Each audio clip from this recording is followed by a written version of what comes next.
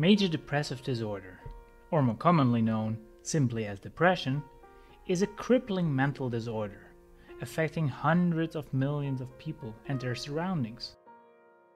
Given the diversity of symptoms of depression, it is incredibly difficult to treat, which is why there is always a desire to find new and improved methods. One method that has received FDA approval for the first time in 2008 is transcranial magnetic stimulation, or TMS. In this video, we will first cover the basic principles of TMS.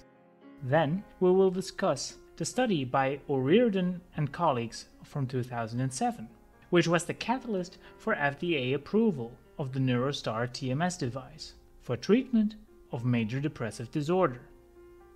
Note that this study was performed 14 years ago, and TMS therapy has improved considerably since then.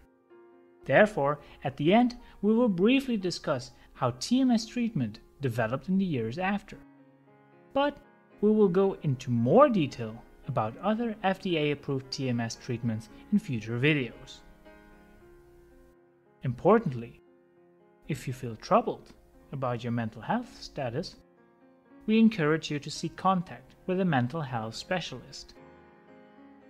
This video is meant to inform you about how TMS works and how it is used to treat depression. As such, this video does not intend to persuade you in favor of TMS or to oppose TMS as a treatment method.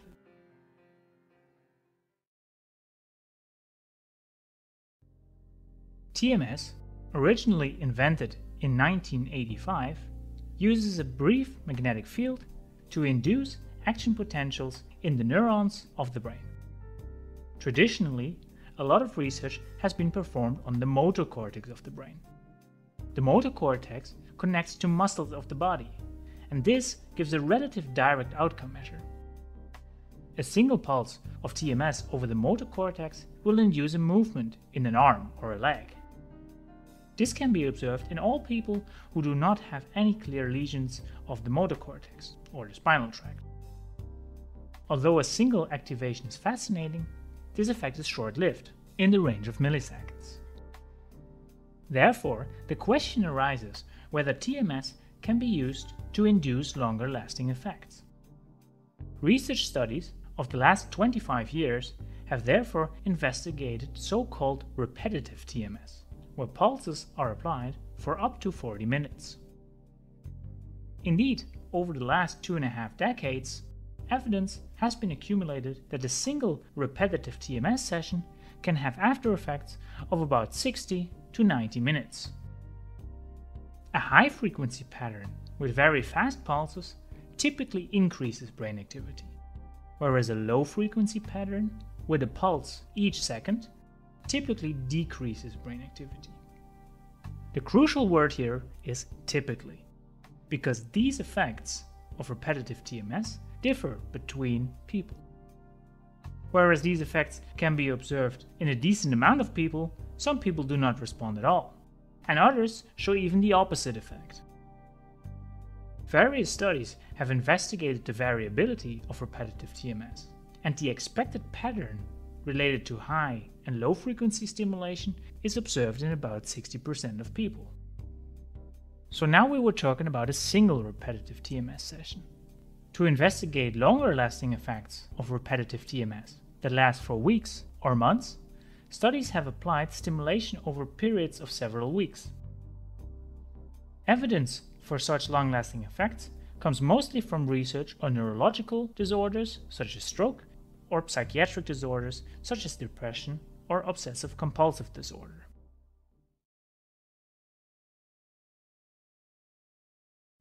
Let's talk about safety. Magnetic fields that are produced by TMS, but also for example by MRI scanners, do not cause damage to the brain tissue. Therefore, TMS is classified as a non-invasive method and is thus generally safe. However, some side effects can occur. Repeated clicking sounds can cause buzzing in the ears, and repeated tapping on the head can induce headaches. Also, the weight of the TMS coil on the head can induce soreness in the neck muscles. Additionally, a complete TMS session can induce fatigue. These side effects are typically mild and disappear relatively quickly. However, it should also be pointed out that the intensities used during TMS therapy are typically relatively high, which increases the likelihood of such side effects. It should also be mentioned that in very rare cases TMS can induce a seizure, although the risk of this is very small in people who have no prior history of epilepsy. Finally, one point needs to be addressed that is particularly crucial for therapeutic use of TMS.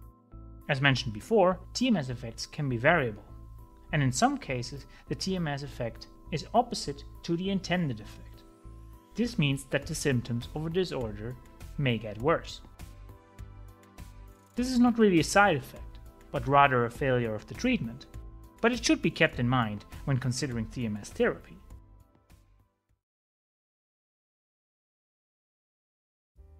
Now let's discuss the paper by O'Reardon and colleagues from 2007. This research paper describes a multi-center randomized control trial. The study was conducted in locations across the United States, Canada, and Australia. The total sample consisted of 301 patients with major depressive disorder. Of these patients, 155 received active TMS therapy whereas 146 received a placebo TMS, a so called sham TMS. It should be pointed out that compared to other studies, this is a very large sample size. Importantly, all patients were treatment resistant, meaning that they had at least one prior antidepressant therapy that had failed. Also, none of the patients was currently using antidepressant medication. TMS was applied for up to six weeks, with five sessions every week, meaning that there was a maximum total of 30 sessions. For the active stimulation group, each session consisted of a high frequency repetitive TMS design. This implies that the patient received 4 seconds of stimulation with 10 pulses per second. After this, there was a 26 second rest period. In other words, each half minute there was a train of 40 pulses. This was repeated 75 times, resulting in a total time of 37 and a half minutes and 3000 total pulses per session. The placebo treatment looked exactly the same, except that no real stimulation was given. For this, researchers used a so-called sham coil, which looks and sounds the same from the outside but has a magnetic shield that prevents actual stimulation. The target location for simulation was the left dorsolateral prefrontal cortex. The goal of the high frequency TMS paradigm was to increase activation of this left prefrontal area. This site was chosen based on previous studies that suggested that there is a potential imbalance between left and right prefrontal cortex in patients suffering from depression. It was suggested that left dorsolateral prefrontal cortex activity is decreased, whereas right dorsolateral prefrontal cortex activity is increased compared to healthy controls. So, how was depression measured? O'Reardon and colleagues investigated depression symptoms by looking at the scores of the Hamilton Depression Rating Scale and the Montgomery Åsberg Depression Rating Scale.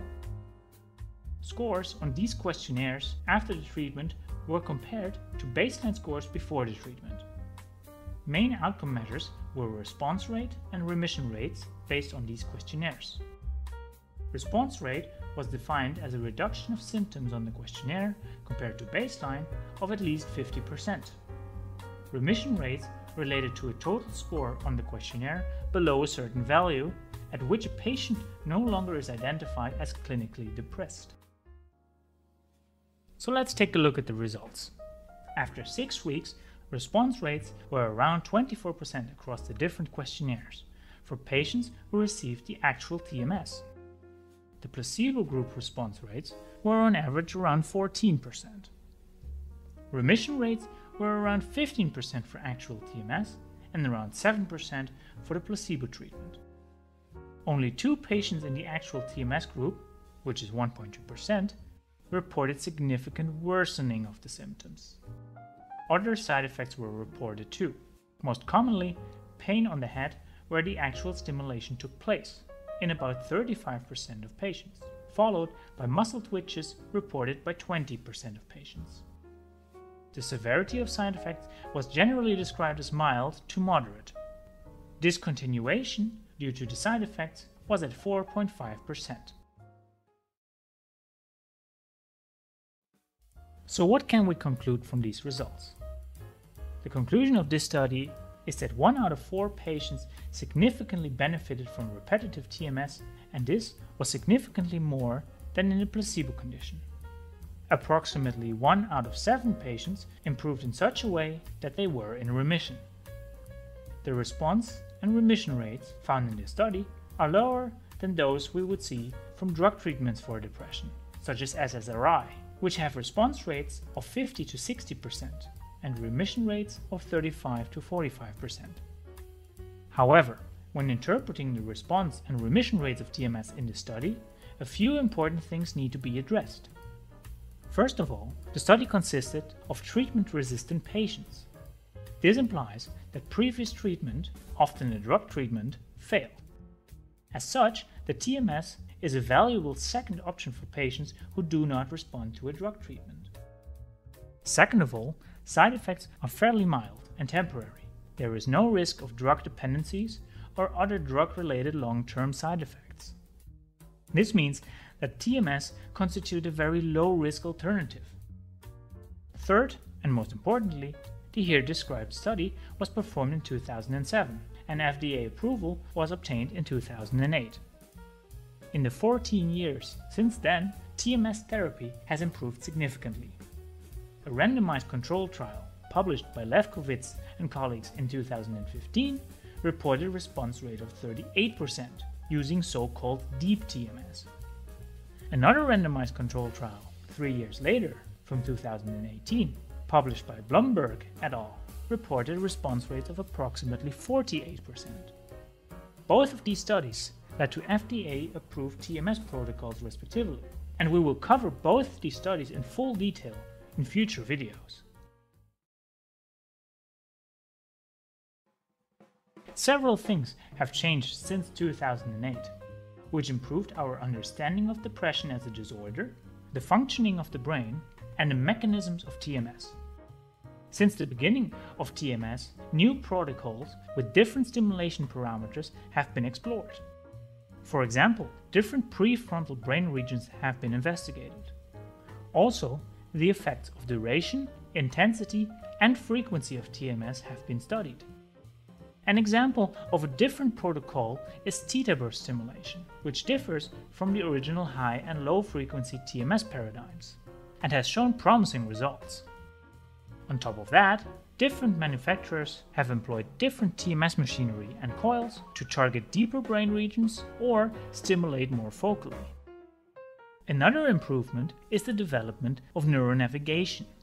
By using MRI scans of a patient, Neuronavigation can precisely pinpoint different brain regions for each individual. This means that the location of stimulation can be adjusted per participant. Being more precise in your stimulation target reduces variability, which eventually leads to higher response rates. Finally, after 2010, computational modeling was introduced, which allows for simulating TMS effects on each individual brain. The TMS-induced strength and extent of an electric field can be calculated. This further allows for personalizing TMS treatments, which improves the possibility of positive outcomes. And these are just a few examples of improvements of the last one and a half decades. Unfortunately, we haven't reached the finish line, and a lot more research is needed. Nevertheless, in future videos, we will cover other FDA-approved protocols in more detail and how the field has improved and is still improving. That's it for now. We hope you enjoyed our explanation. If you have any questions, leave them in the comments. And we hope to see you the next time.